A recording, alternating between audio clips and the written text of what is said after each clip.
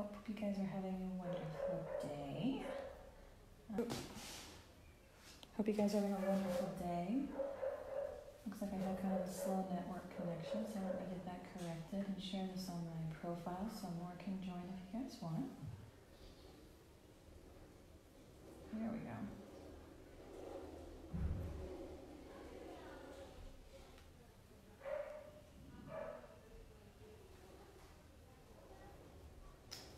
All right.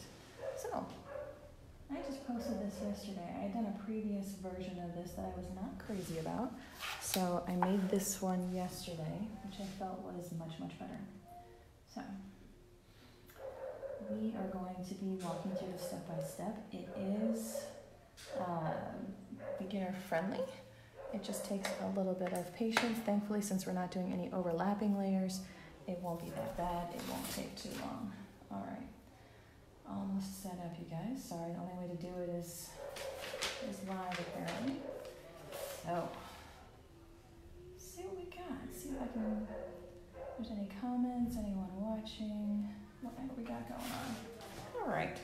So welcome. Are you guys ready to paint a rainbow? Hi, Aura. How are you doing? Um, all right. So something that you guys are familiar with is that I always do two pieces at once. Part of this is because it takes so long for parts of the watercolor piece to dry. Um, and part of it also is just like I like playing with different colors. So I am going to show you how to paint this traditional rainbow color right here. Uh, I also, something that you can do as well, you know, if you're uh, a grown up and want to paint a rainbow that's more like contemporary, um, I like to go on, on Pinterest and look up color palettes. So this is the one I'm going to play with today. It's more grown up and I'm curious to see how it all plays together. So if you want to have more of a challenge in color mixing, go onto Pinterest, look up color palettes, uh, and uh, go from there. All right. So the good thing about I tried to do in every lesson is to show you how to measure it out. So the first thing I'm going to do is I'm going to cut this paper in half, this nice clean paper, and then measure out two of these. So I always do this live with you guys. That way you have time to do it. So if you want to paint too as well, great. If not, this is what I'm going to be doing next. That way I can do two pieces at once essentially. All right. So I've got 12 inches wide, so six inches. Do another one here just to help keep a straight line. And for those who watch this, you can always tune me out with these normal things. You'll see the, the line is very light. That's because I'm using a very hard pencil. So the 6H means, uh, there it is, the 6H means that it's um, very hard, so it makes a very light mark, which makes it easier to erase later. Also, these erasers are super fun. They're like my favorite thing. It's basically silly putty in eraser form, but it's good because it means that you can get, you know, very fine tips on the uh, eraser or have it be a big area. Because it's moldable, you can do more with it, which is great. All right, so this one's easy because all the math we really need to do right now is we're going to basically cut our paper into fourths. So as you can see, we're going to center our rainbow. And since we're doing these drops down below, we're just going to center the bottom of the rainbow on the center of the paper. So we're gonna cut the paper into fourths on each side. If you're doing two sides like me. So my page is nine inches tall. If your kiddo is watching along, what's nine divided by two? It's four and a half. If I get the four and a half right. There we go. All right, I'm gonna draw my reference lines with that nice light pencil which I can will either be easily covered up by the the paint or um, can be easily erased later. A light pencil mark is easy to erase. All right, six inches for each side. That one's three, that one's three. And I'm gonna make a second mark a little higher up just to help make myself, give myself a straight line. Okay. All right. Now something you may notice in the picture that I made is this is not a perfect circle. The lines are not perfectly straight, but that's an effect that I was going for. It was intentional, it's fun, it makes it look more handmade. So, um, I'll be just be showing you guidance on how to get roughly the right dimensions and how to how to plan out these lines. Once again, they're also different widths in order to make it more uh, more interesting, not just same flat and uniform. You can measuring it out here on each side. You can measure out, you know, the exact same width of the stripes. I like the different size stripes, but that's up to you. All right. So we've got the paper measure into force. That's what this green line is. Okay. Um, the next thing we're going to do is figure out how wide we want the rainbow to be. And then that'll help us determine how tall it is. Because the width of the rainbow is going to be the same as the highest point above the arch. So let me show you. All right. I like to work in centimeters lately. It's just easier that way. Um, let's see, do I want to do 10 or 12 centimeters? I'm going to do 12. So that's going to be my point over there.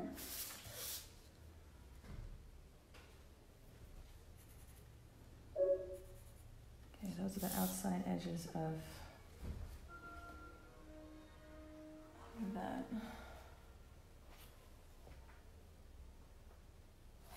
All right.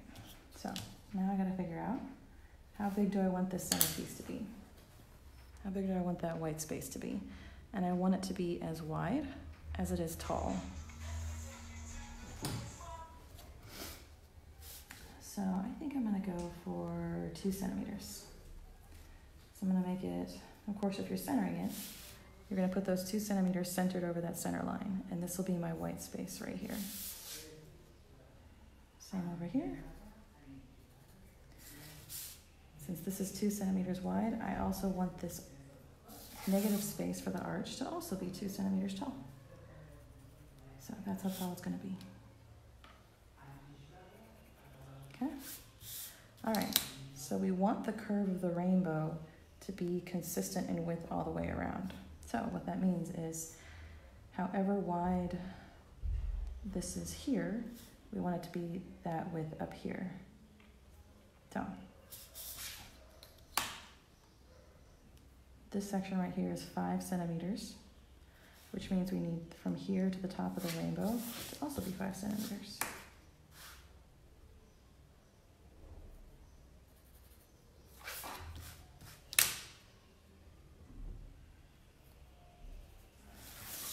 So once again, this arch is supposed to be the same distance all the way around. That way it's nice and even as you go. All right, this is where I sketch in. Now that I have an idea of where everything needs to connect, this is where I tend to sketch in things. If you want, you can try and sketch in this middle part, which is easier to do since it's a smaller shape. Sketch that first line, and then from there, you can give yourself more reference. Because once again, everything is five centimeters out for mine. I'm not sure how wide yours is, but five centimeters from here, that gives me another guidance. Five centimeters from here, another guidance. Once again, we don't want the lines to be perfect. We want it to be more uh, handmade, more organic. So it's okay. This is just for, this is just for reference.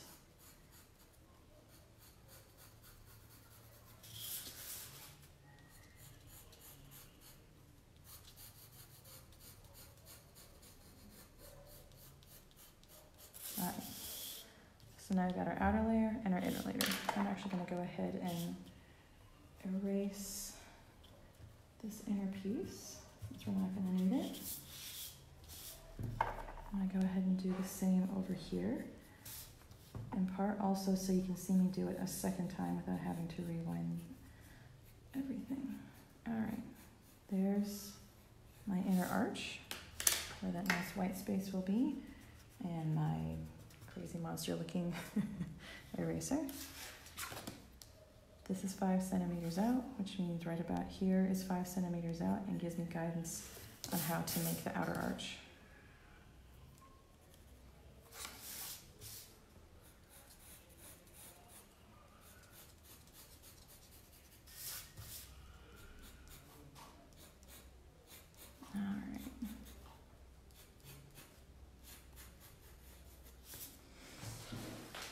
Also want to show you this uh, the raindrops right here. Hey Anne, how's it going? Um, Beatrice, what's going on? Nice to see you guys here. Um, this uh, this is where the raindrops will be. Okay, so it's helpful to measure that out. That way you get the uh, dimensions. That's the word I want, guys. Sorry. That's where you get the dimensions all laid out. So what I've done is like, for example, this is five centimeters above the arch. The arch is two centimeters, so this is a total of seven centimeters. So what I'm gonna do is I'm gonna go seven cedar, seven, ugh, seven centimeters below. But I've learned that it looks a little bit better if you bring it a little further than the height of the of the rainbow. So that's seven centimeters, go another centimeter or two. If you're working in the same dimensions, you get the idea. So I want the point, so this is seven centimeters tall. I want the point of the rainbow triangle to be lower. I'm gonna put it at eight and a half.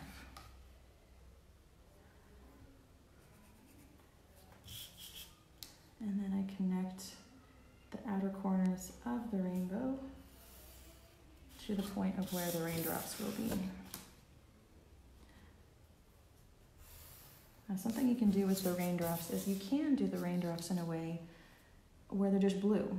You can just keep it very traditional, make them blue raindrops. I personally like all the colors, um, but once again, there are so many variations you can do with this, and that's also part of why I do two versions of this so you can see um, the different possibilities.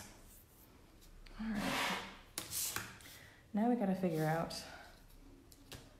the width of our stripes. Now here's the thing. Uh, in typical rainbow, you guys know, we've got red, orange, yellow, green, blue, indigo, violet. Roy G. Biv. One, two, three, four, five, six, seven stripes.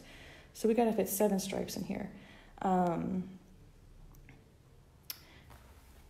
what I did just to make it simpler for myself is I just split the area in two. And then that also helped with the organic. So this is five centimeters wide. So 2.5, 2.5, 2.5. All right.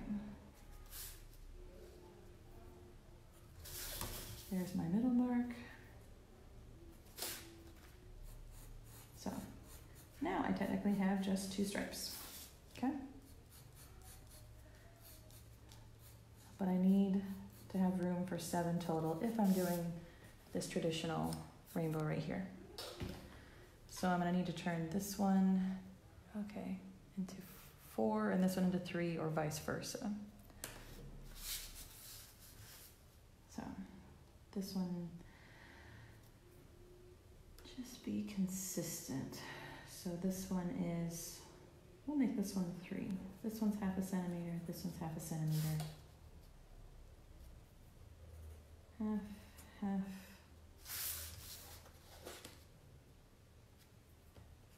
Half, half.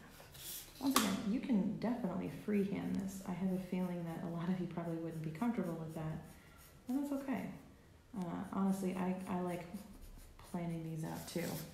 Um, I feel like if I have a little more outline to begin with, it gives me more freedom to to paint later.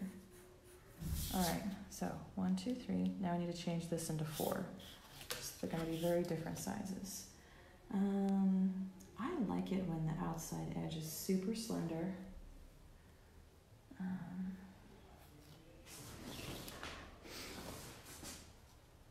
so I'm actually going to do uh, three tenths of a centimeter. Real tiny. Just being consistent.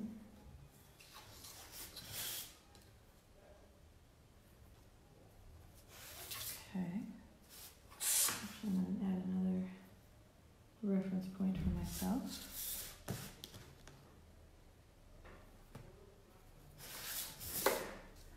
Once again, we want it to be organic, but we also want it to yeah, have consistency. And just follow the line of that curve. Something else you can do if you have something the right size and you really feel like this is getting that initial curve is beyond you. Uh, think about, what I have, oh, that's a good one. You have a roll of tape, you have a cup, you have a bowl, you have a lid. Um, you can use that and put it in the halfway point and then trace around it.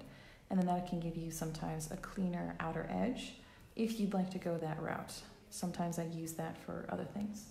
Um, all right, so I still need to, so this is now two, I need to make this one into three. So we'll do another, I don't know, I'm just playing around guys. This one, this one, so like one centimeter in, and then this one in half.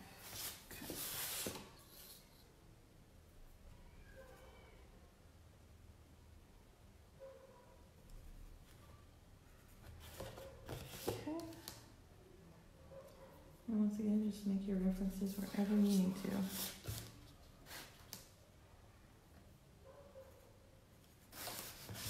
All right.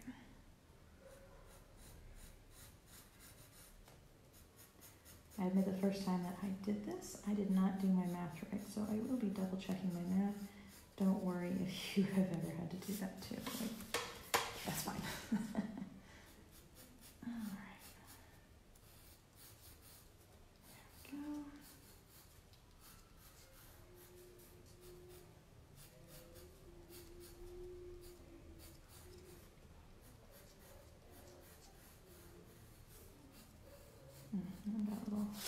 chubby there. That's okay. Um, also gonna start erasing that center line. I won't be able to erase a lot of it later, so just trying to lighten it up. All right, one, two, three, four, five, six, seven. Roy, G, B, I, V. Great, okay. Um, take that away too, so I'm not painting over it. And now you have the outline for the rainbow. I'm actually going to do this again. I'm going to do different widths over here just for the fun of it. But like I said, it does help me to have that middle line.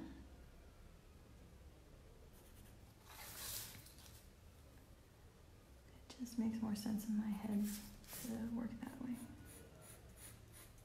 I will try to sketch that one quickly, that way we can get to the painting part.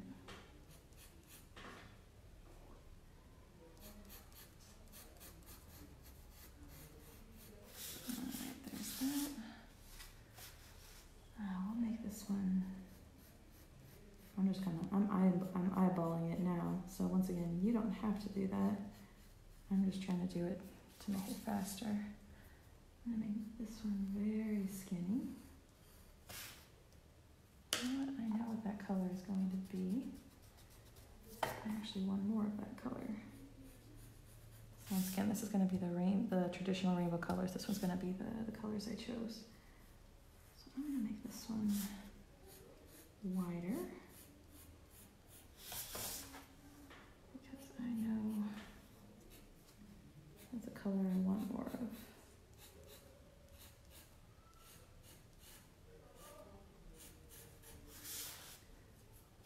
All right, let's do another skinny one here.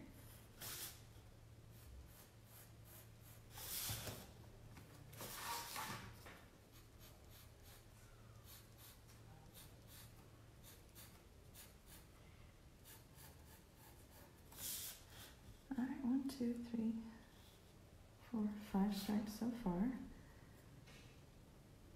And actually, something to keep in mind that I almost forgot is that the color palette that I chose has only six colors instead of seven.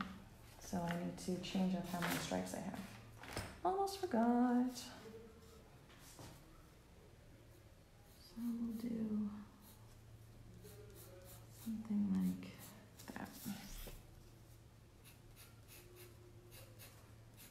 Once again, I'm just eyeballing it for speed. erasing some of the darker reference lines, which will be easy later. So this part will go faster. Now, something you can do is you can use this blue painter's tape. I like to use that. Um, clean release. So just like stuff that you'd use while painting your house, the idea is that it would stick to the paper, but it wouldn't pull stuff off. If you do it just right, you can get a nice clean line. Um, I worked without it, um, but let me show you. That one should be okay. It looks like I, I was pretty good about pushing it down. I have no fingernails, guys, bear with me. Okay, that one turned out okay. That one has a nice clean lift. But I do want to show you the dangers. So this is cold press paper. That's probably what you're working with too, which means if you kind of like move it back and forth or run your fingers over it, you can tell it's not completely smooth. Hot press is super smooth. It's a very different experience. Cold press has these ridges. So because of that, even when you have tape pressed down super tight, um, there's still a chance that paint gets underneath. Let me show you. Say this, the paint was either really heavy or the tape wasn't uh, pressed down enough. So paint leaked under and you lost that clean line shape that you're going for. So once again, if you push down really hard on the edges, you'll probably be okay, um, but it's not a guarantee. I like having more control, so a lot of times I just won't use it. And in this case, it's covering part of my work area. And as I'm going in between, it's screwing with how I want things to, to dry. So that's what I'm gonna do. Now, this next step, now that we have everything all sketched out, is I'm going to do alternating colors because we aren't, you see, you can see the tiny white lines, we aren't going to do overlapping, but we save ourselves the possibility of bleeds. Now, bleeds would be if these colors like overlapped or touched accidentally, they would start to go into each other like this. Now, if you want that effect, great, go for it. That's a lot of fun. Uh, if you want the more controlled, clean version like this is, it's easier to start with these, with the every other color. So you can use your reference with a Roy G. Biv if that helps, whatever you've got to do. Um, and then I've found that it works well also for distributing the colors of the drops. You can see we actually dropped some clear water on here earlier. All right. All right, so I've used two round brushes for this. Um, it's kind of hard to get that curve with a flat brush. So I do have that. You can try if you're comfortable with it, like using maybe just the corner. Um, I like using the round brushes because as you can see, it comes to a nice point and also the smaller brushes um, come to an even smaller point. Once again, I'm used to working very, very, very, very tiny, if you can see that. So it's very small. So this is no sweat. All right, so all I'm gonna do is I am going to fill in the outer ring of the rainbow. Uh, so on this one, it would be red. Uh, and then on this one, I get to choose which color I want. And I really want there to be a lot of this one. I decided to do the rainbow like that. So this is gonna be my outer rainbow. And then after painting the red stripe, then I'm gonna put about mm, three or four droplets down below of the matching color. That seems to help with uh, the distribution. Let's go. I've got a nice warm red that I'm using. I'll try and move my pinks up so you can see them in the camera. Hopefully you can. Don't need the pencil right now. Thank you. And once again, I have a fancy water tray. If you guys have watched my videos, you know this already. Have two water cups if you can. One is for rinsing the initial paint off, and then one is for clean water in order to use to activate the paint without mixing the other color. So for me, this counts as my one cup, two cup. But have two cups, one for rinsing and then one for um, painting, basically. So, all right.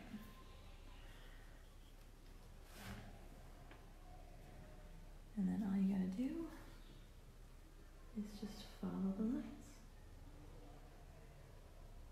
If you are using tape, great. Make sure that you've pressed it down really, really well um, I like to use the smooth tip of my paintbrushes. That usually does pretty good because it's hard, but it um, so it puts a good pressure on it, but it also slides well, so you can really press the edge in uh, nicely. Um, I am freehanding the bottom of the rainbow, And once again, since the rest of it is a little bit free-handed as well, I'm okay with the bottom being slightly uneven as long as it's roughly on, on the baseline. Hopefully, okay. My biggest concern is always that um, my head will block your, your vision.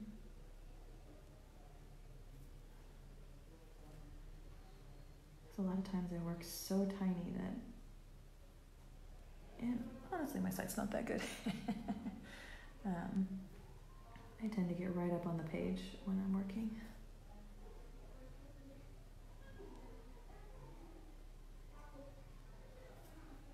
So I'm using a nice warm red, just very bright, very cheerful.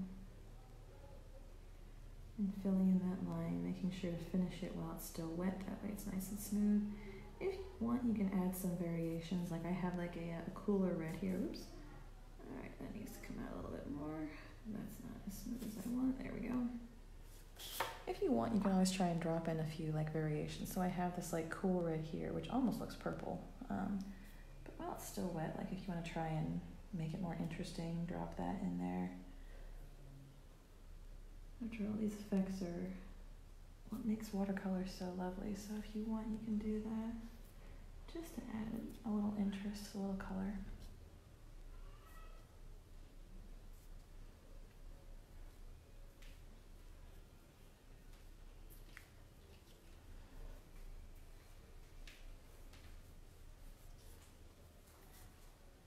Sometimes it's nice, it just depends on what kind of effect you want to use. Alright, so now I have the red stripe.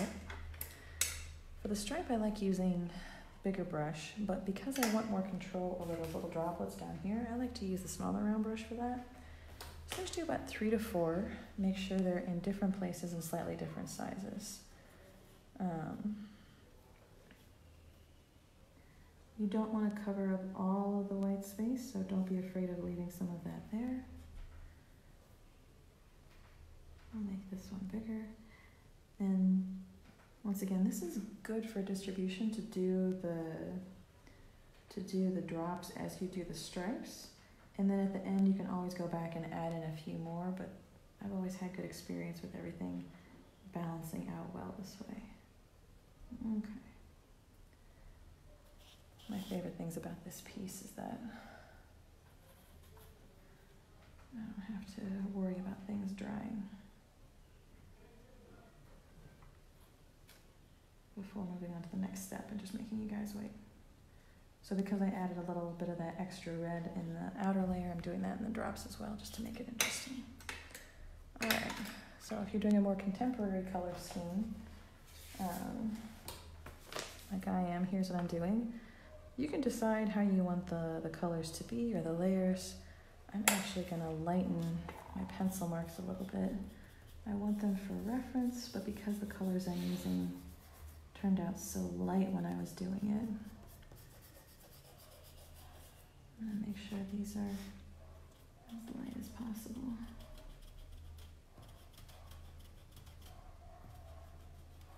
Something to also keep in mind with your pencil, it's just like you want to draw lightly because if you push into it too hard, it will leave a tiny channel. It'll like put a tiny dent into the paper. And sometimes that actually does show up with the, with the paints. So, okay. So I really, I'm a fan of green. You guys know this by now. Um, uh, hi, Ortal. Um, I really am a fan of green, especially this kind of like emerald green. This actually was a little bit darker, of course, when I put it on, because something I've said many times is uh, watercolor will dry 30% lighter than the color that you paint it while it's wet. So try and go a little stronger um, in your in your pigments if you can. So this, I was able to mix together um, my Viridian green, my cobalt blue, and a little bit of black to get the color I wanted. I think I may actually mix a little bit more to play around with that. Something else you can do, especially if you have like your own color set and it's limited. Um, this is something I've pulled out before make a, uh, a color harmony or a, oh my god, a color sheet. So these are all the colors I have on my tray. I've got yellow, warm yellow, um, cold blue, warm blue, cold red, warm red, cold green, warm green, and then up here at the top I have brown and uh, black. And so you can see how everything mixes together. And so if you need a specific kind of shade, this is a really good reference for what two colors can I mix together to get about what I need. It's a really good starting point. Um, so that was something I was able to use this time around. I did need to add a third color, so it was, once again, just a starting point. All right, let's get this nice emerald green going.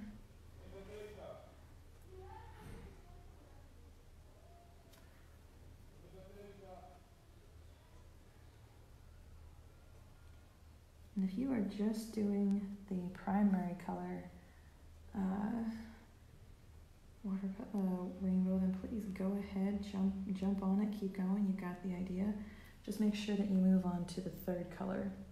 So, for example, move all of my papers over here.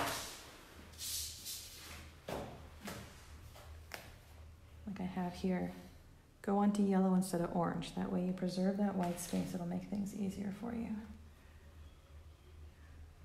But if you're doing something more modern like this one, feel free to jump in and paint along with that.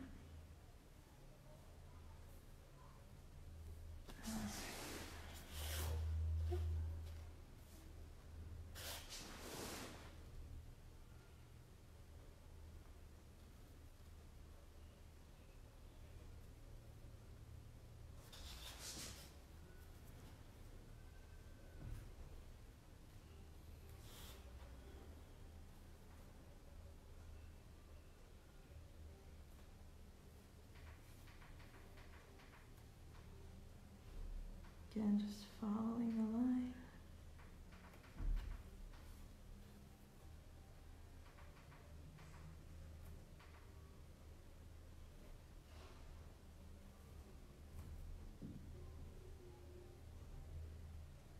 All the way down here. Okay.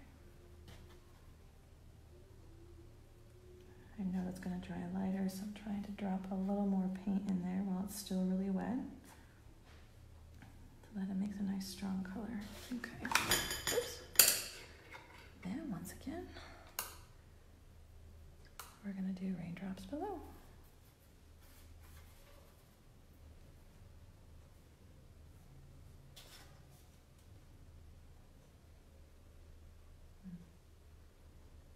Once again, just remember to do them in different sizes. Don't put them on straight lines three or four of them. And then at the end, you can always fill them out. If you feel like more is needed.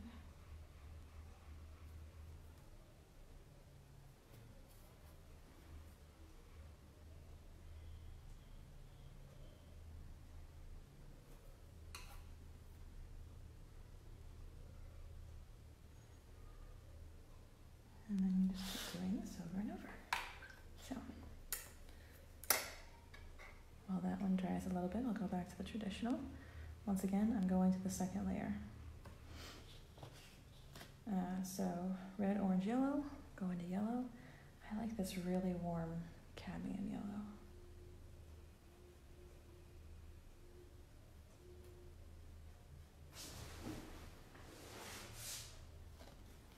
So once again, I'm skipping a layer to make sure that one dries a little bit more. Trying to be careful not to put my hand in the wet spots, which is not always easy.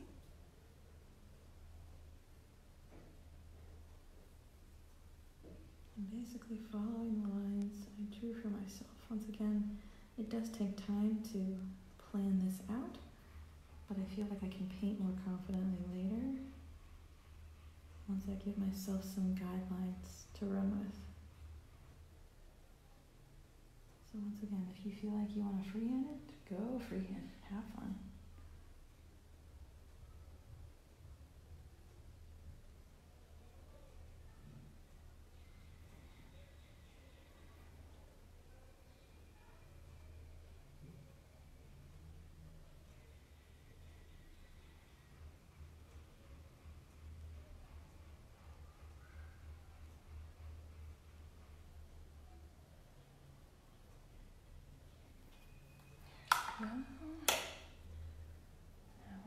Smaller brush for some yellow drops.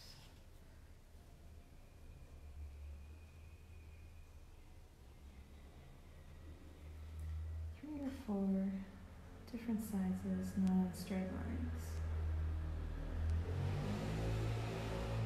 I don't know if you could hear that, but there was a scooter coming down our, our alley. We got the balcony window open. Um, it's a nice day.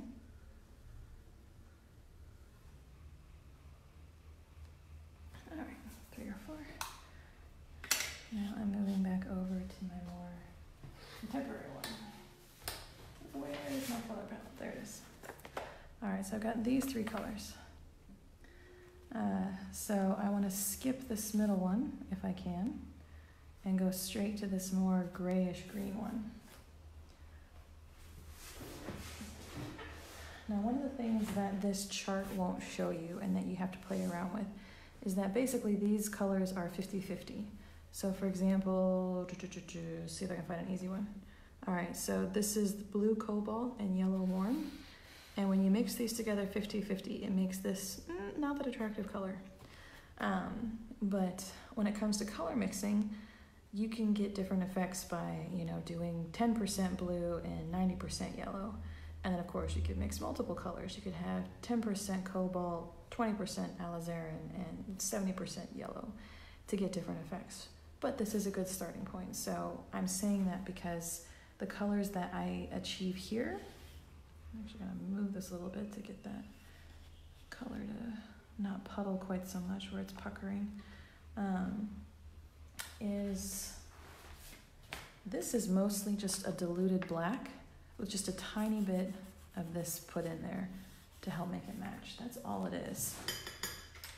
So once again, it's not 50-50. It's different amounts of water. It's different amounts of pigment um, compared to each other. So let me get that set up. Because that one is, once again, this is a lighter color in general.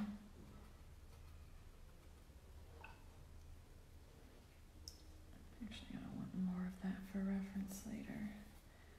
Like I said, something that's helpful is when you do these, like, you basically need to keep a color recipe book if you do um, mix these colors together. Because if you want to recreate it later, you may may forget how because you may reference it tomorrow, you may reference it a week from now, a year from now. It's really helpful to have color recipes especially with the makers of the stuff that you work with in the past, things like that. All right. So we're going for that nice diluted gray with just the hint, just a tiny hint of green in there.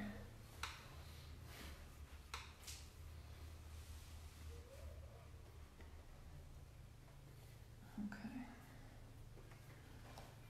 Once again, skipping that second layer. I want that to be more black. And something you can always do is just like you can test, if you're mixing colors, you can test them on a different sheet of paper. I'm going faster, so I'm cheating a little bit and trying to mix while it's still wet, which you can too if you feel comfortable with that.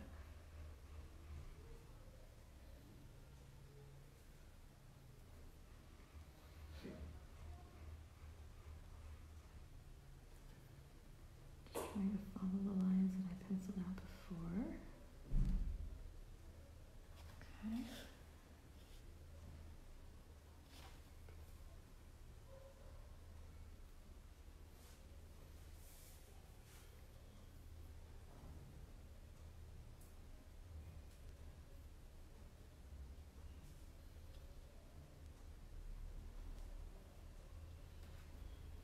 Leaving room for a very skinny stripe later.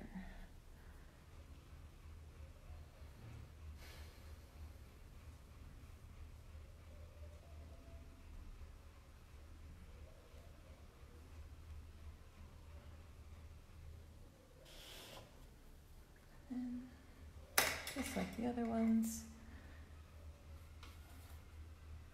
we're going to have a few droplets down here. Good thing about pieces like this is once you get into a rhythm,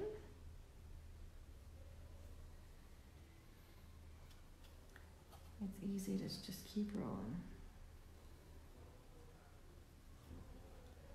I'll put like a nice big drop here. There we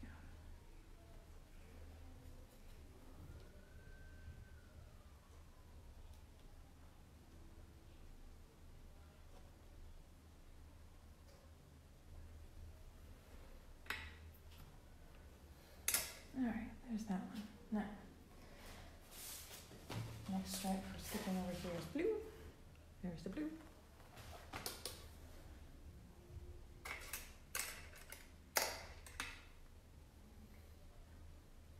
And I actually got this with a little bit of green in there, so I'm going to clean that out real quick. There we go.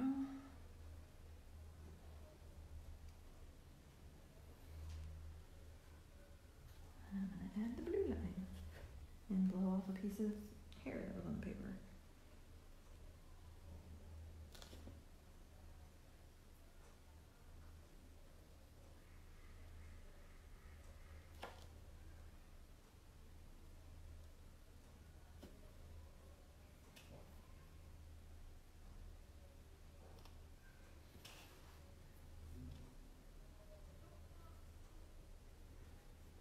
I have so much stuff on my desk right now that I can't really turn the page and have you guys still be able to see it.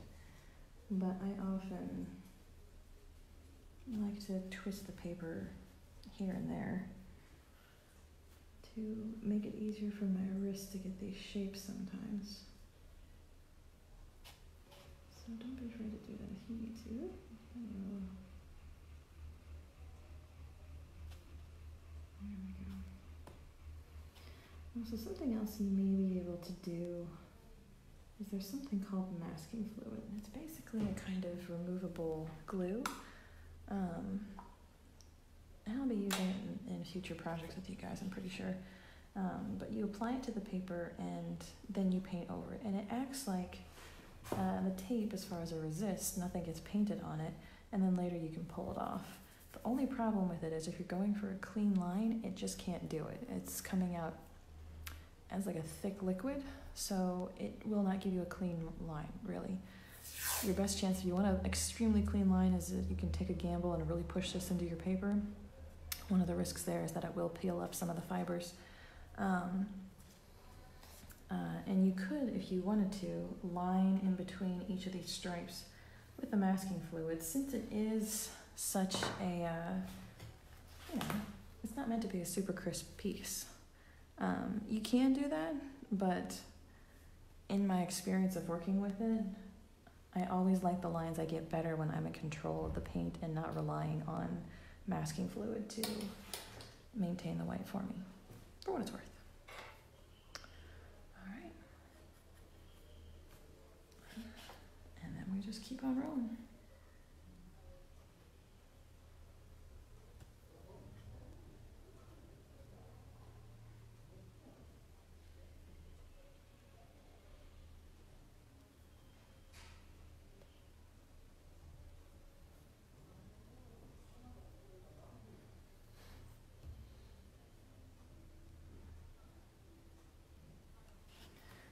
There's the blue.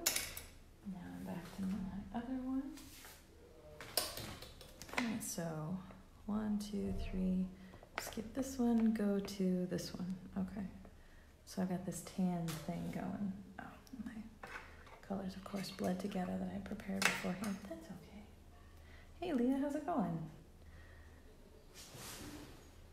Alright. So what I did is I put together for that tan color I used the warm yellow,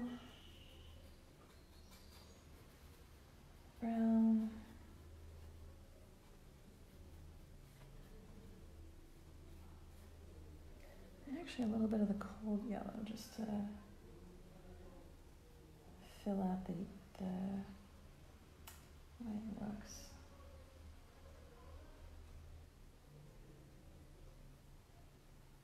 That's ah, great. Once again, we kind of have to play with it on paper, so.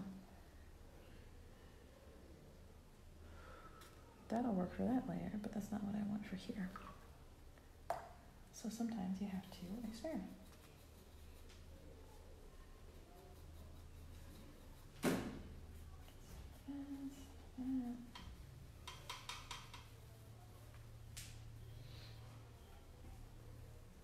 Alright, that's more what I want.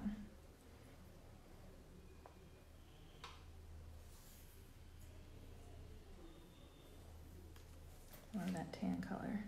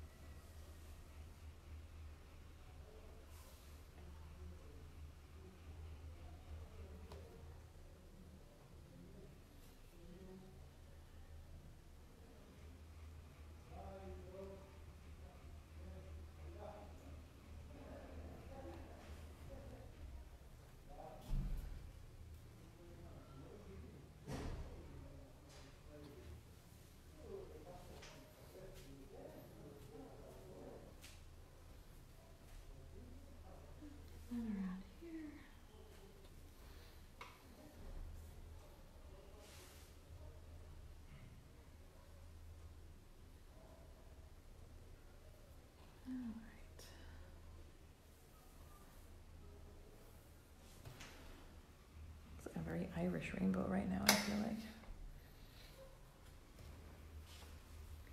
Kinda like it, it's like mossy.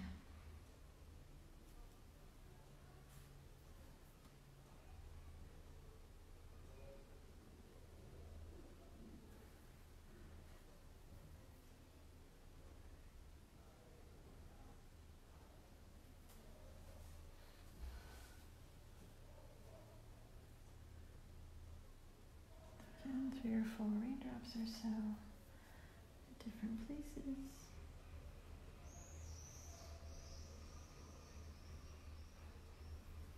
Okay, awesome. All right, down to purple. Here we go.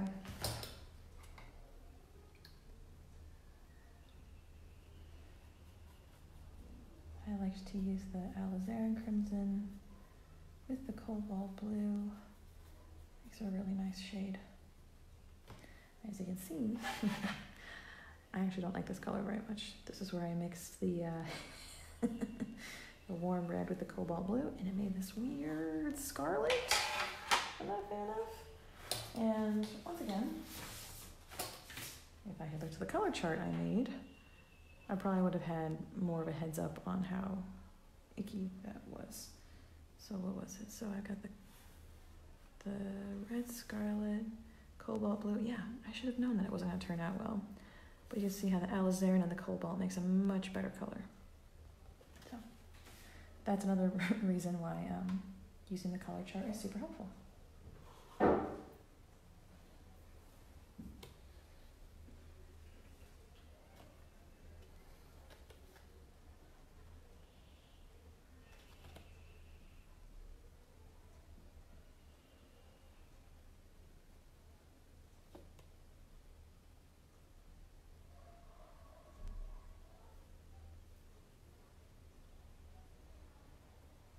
Yeah, it looks like I've got great Kool-Aid. All right.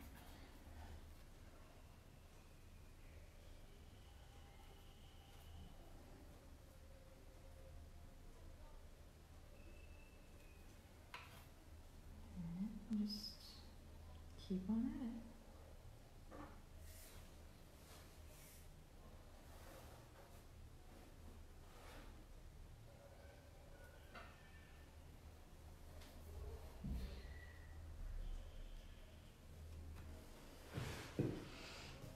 Mm-hmm. Do a bigger one right here. I'm doing a good job mixing up the sizes.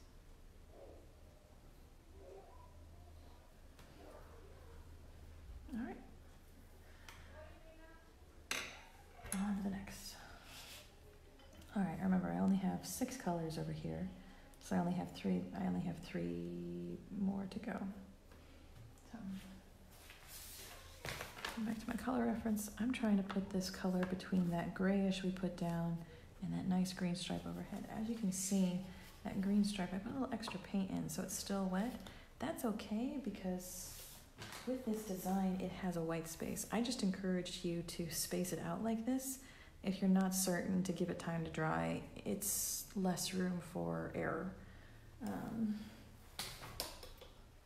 but I feel pretty confident we can pull that off.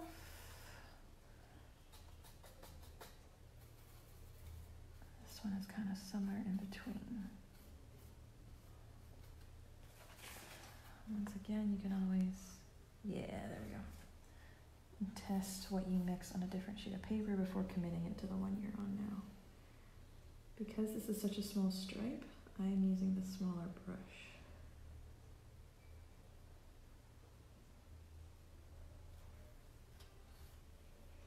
Helps me get in the smaller spaces and it gives me more control. So now I basically just follow the lines laid out to me from the previous stripes.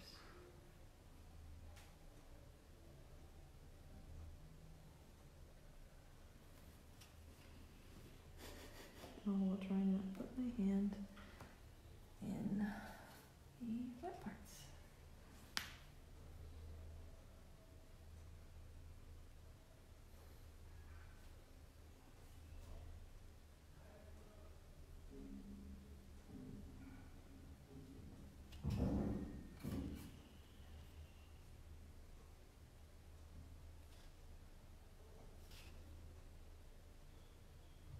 And this is where I really want to be careful because even if I get just a little bit into that green puddle up top, it'll spill in. Now it could have a really nice effect. It's not an effect I want. And it's not an effect I can control. And that's the hard thing with watercolor. I can do some really lovely things if you're willing to let go of that control. Um, but if you want something to look a specific way, That's where it gets tricky.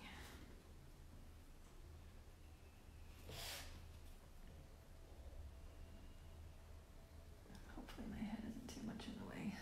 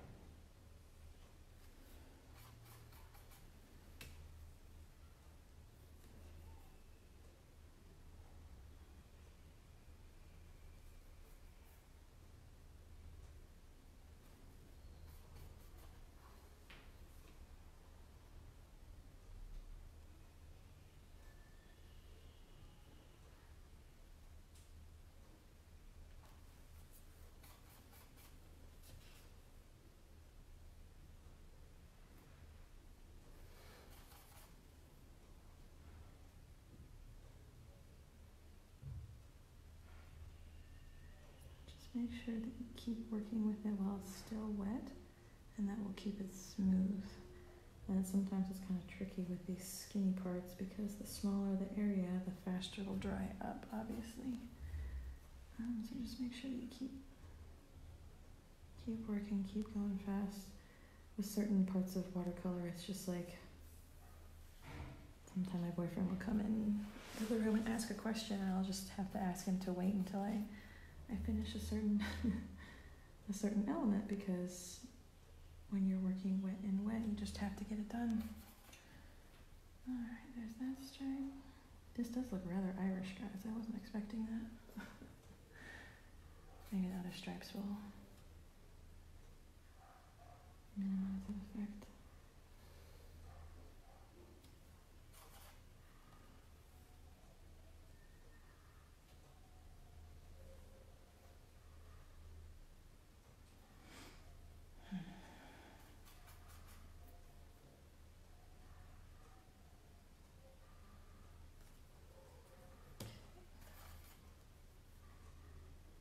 And right here too.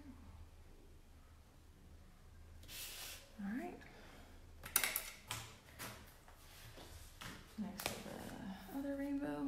orange. I mixed together cadmium red with the warm yellow. And you can see I've already got it all worked with right here already.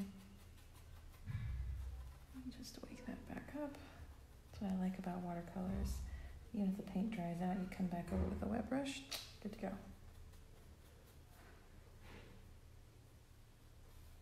There we go. You can see I like to put my pinky down on the page. I know that I've got wet spots going on here, so this kind of helps give me balance without putting my whole palm on the page and dipping it into a wet spot.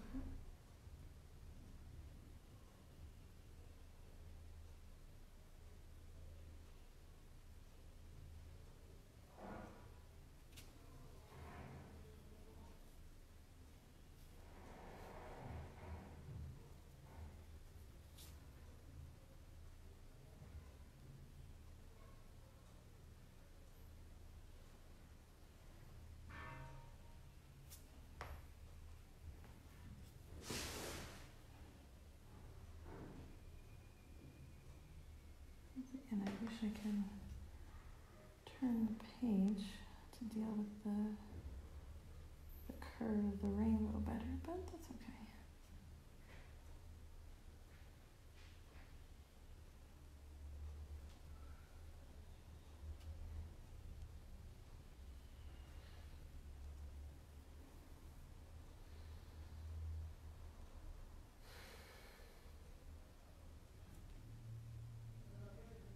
Just trying to maintain. Looks like that yellow one got kind of fat. so, but once again, we like that hand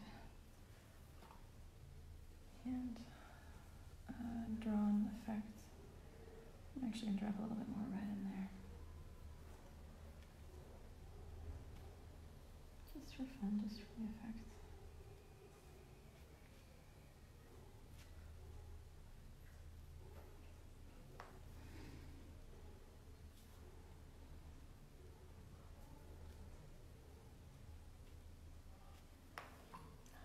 Right.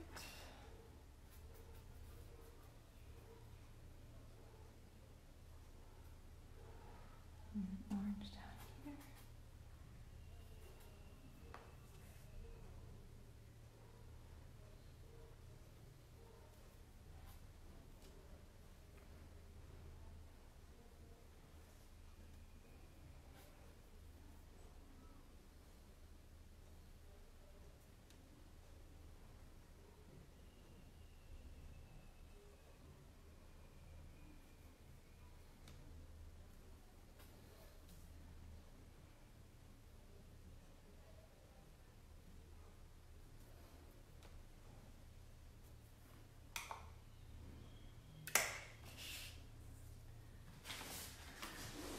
What do I got over here?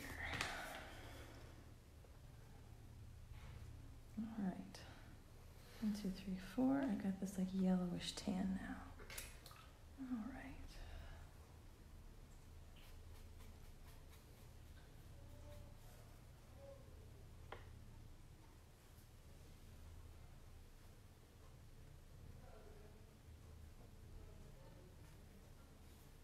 Yeah, like I said, I had this mixed up before, but in the same place.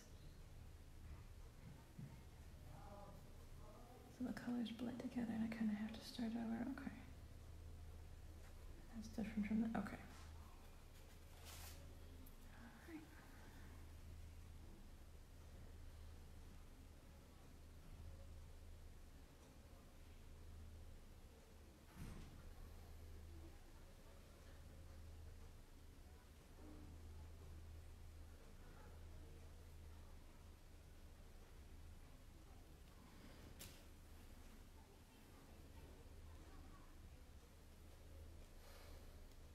Alright. I of that top layer, how it's drying.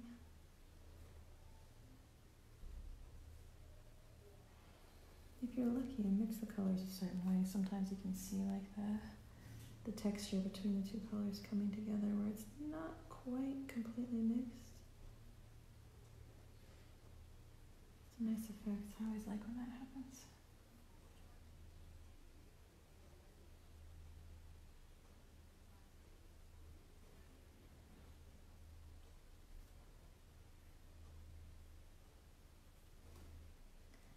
If you do goof and go over a line, you can always use a clean paper towel, it's not this one, and try and blot it up immediately. The faster you do it, the better you are.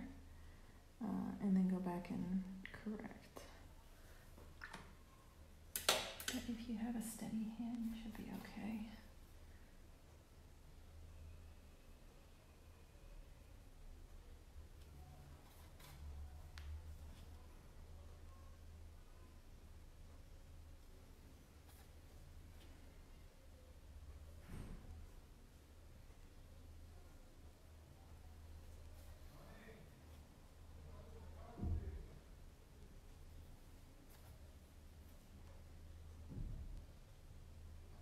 The yellow contrast and I put a few in here.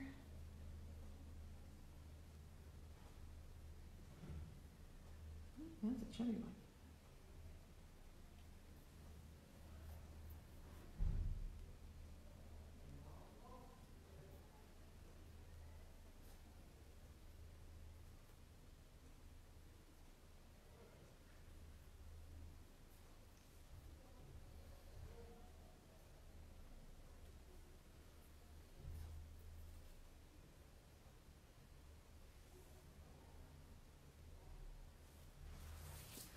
All stretch, guys.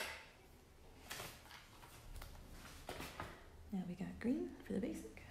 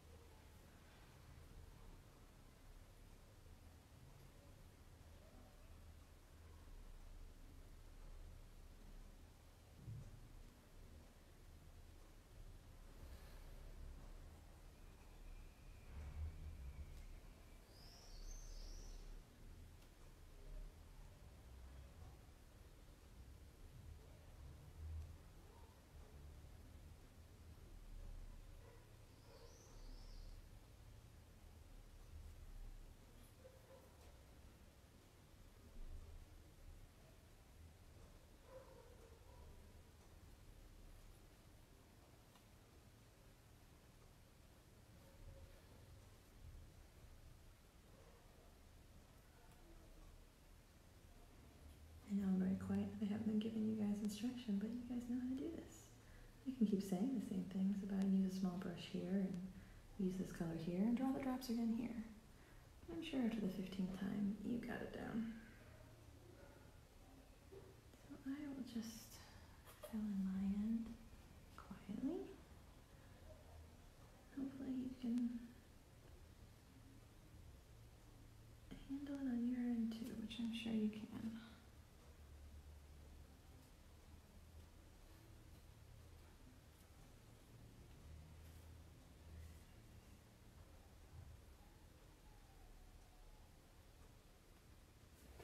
Alright, got our green. As you guys know, that's my favorite color, so I may go a little crazy putting extras in here. Remember, different sizes, never on the same straight line.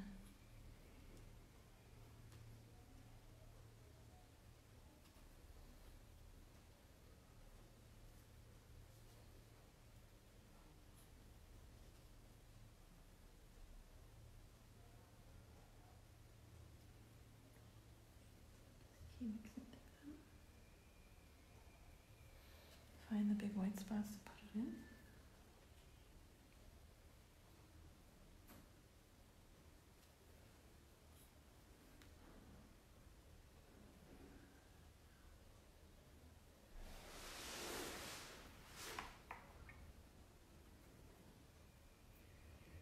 One more here.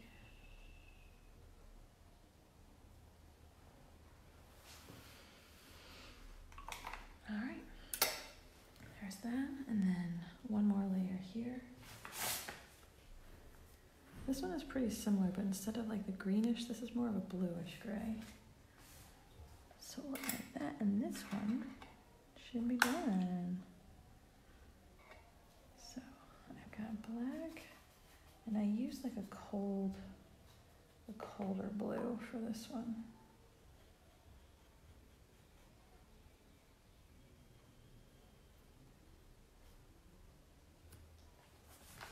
Again, I want to make sure I get that the color I want. Excellent. That's what I want, guys.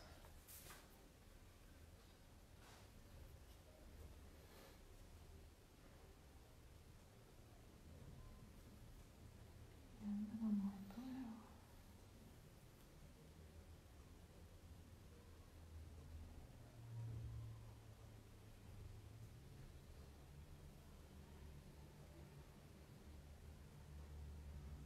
Yeah, that's nice.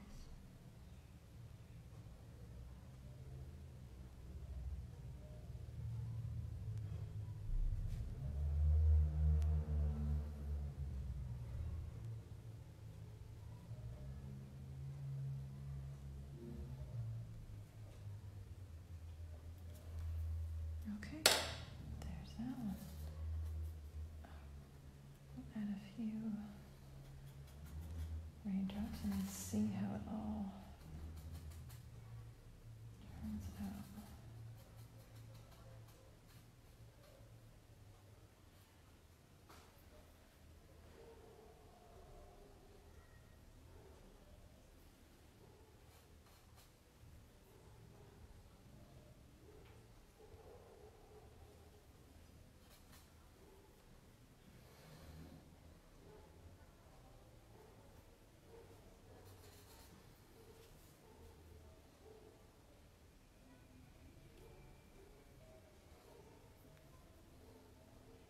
Hi Megan, how's it going?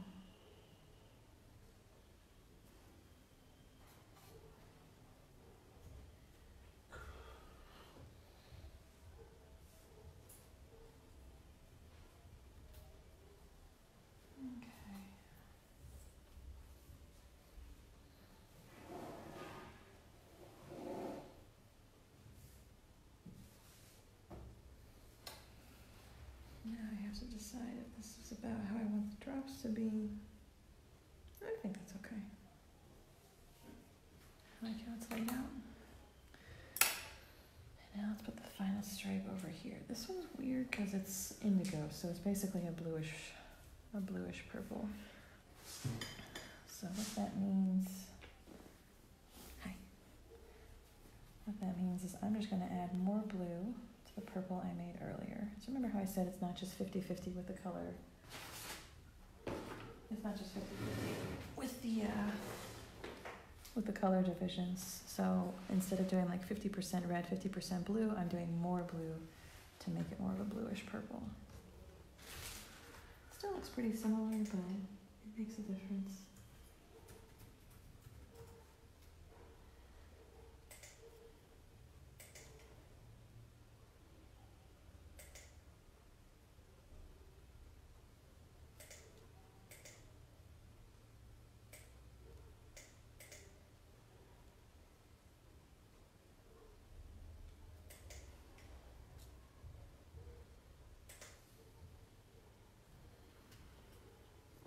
Again, using the pinky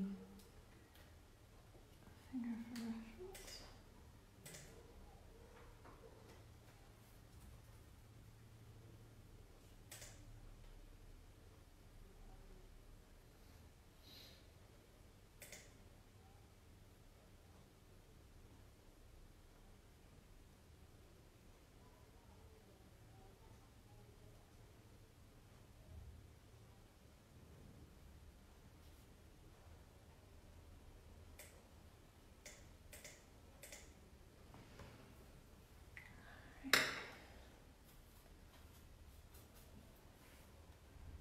Add a few more drops.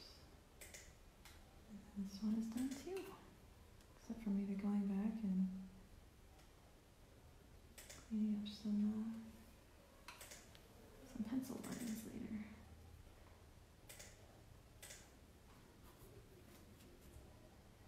Alright, where are my white spaces? Mm, feels like it needs to go here.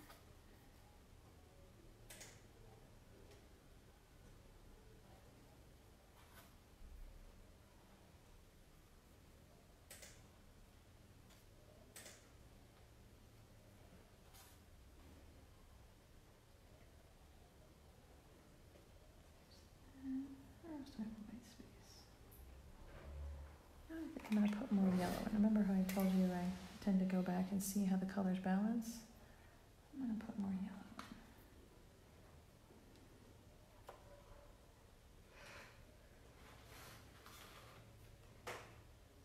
Just looking for white spaces to put. Maybe one here.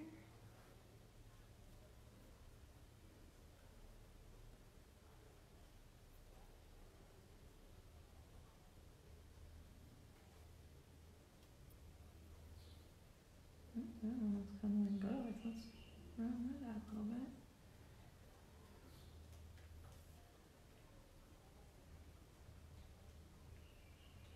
Alright. Alright. Actually gonna add a little more over here too, because I can see that that one's a little, little empty too. So that's all you're doing is like when you get to the end, you'll see like where the white spots feel unbalanced, where you feel like you put, because some colors are more powerful than others, some colors are more similar than others. So like these three are pretty similar when you put them down here. So they kind of blend together. So I liked having the yellow and oranges in here to uh, to pop out and to make a difference. Same with like that strong outer layer color, um, because that also is a is a bigger contrast. One more right here. And I think we'll call that a day. Alright guys, there you go. Uh, those are watercolor rainbows. This one's more traditional. This one is more contemporary. Uh, if you want to just do something for fun, but you don't want to have it like nursery style.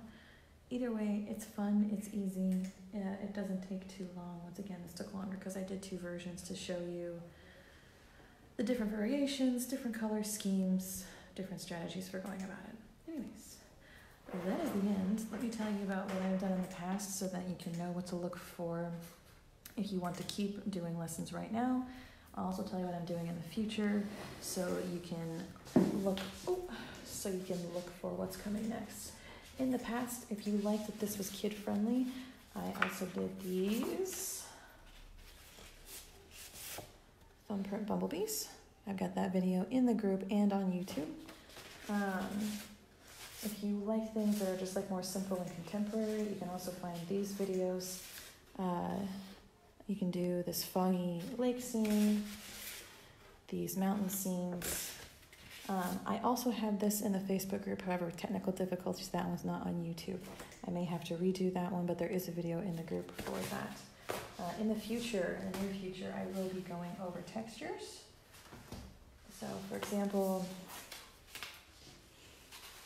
using leaves in your work, using bubble wrap, and we'll be going over different ways to do it, how to layer it, how to apply it beyond that. And then we'll also keep doing uh, more traditional, like step by step lessons. Tomorrow, we will be doing this ombre moon, ombre, ombre. I don't know how to say it, guys. We'll be doing this. That's also easy because it has these spaces in between, just like the rainbow. It goes fast. And then I'm also working on this ginkgo leaves one. I'll let you guys know when that goes up, uh, as well as I just posted an event for this one uh, with uh, hand lettering and watercolor flowers for glazing. All right, that is what I have for you guys today. Here in the near future, this will be up on YouTube. Uh, feel free to comment with any questions. If you painted this, feel free to share the picture. I love seeing what you've done. Um, and if you want to help support this channel, I'm trying to do it for free as long as I can, but this does take supplies and time. If you're able to support it, that'd be really great. There are details in the video description. Um, and yeah, you can always reach out to me with any questions you have. Hope you have a good day, and I'll see you again tomorrow. Bye.